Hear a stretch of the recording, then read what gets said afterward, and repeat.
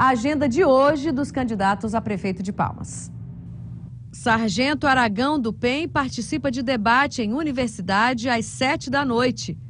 Zé Roberto do PT faz caminhada na Avenida da 607 e 605 Norte às quatro da tarde. E às sete tem reunião com candidatos a vereador na 508 Norte.